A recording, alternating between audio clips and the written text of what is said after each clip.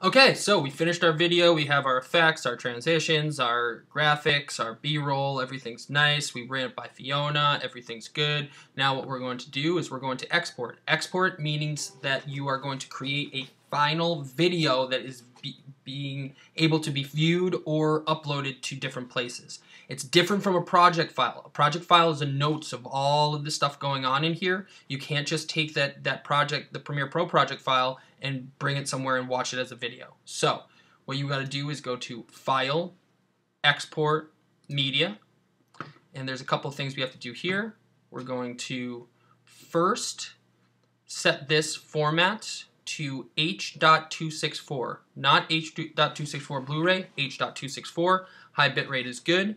Then we're going to set the output name, and we're going to save it. You might you might see it like this. You have to click this button, save it to our week one folder or whatever folder we're trying to save it to. Finish videos and whatever it is. So this would be your segment name. So segment, um, so it would be like Hamped Up, or in this case, Quila, and then uh, Ferris interview, hit save, and then we can hit export. It's going to go run through the export, save that, and it's going to show up inside of our desktop local week one finished videos. Then you'll have an MP4. You can take that MP4 and you can move it to uh, the Google Drive for Fiona to um, to use.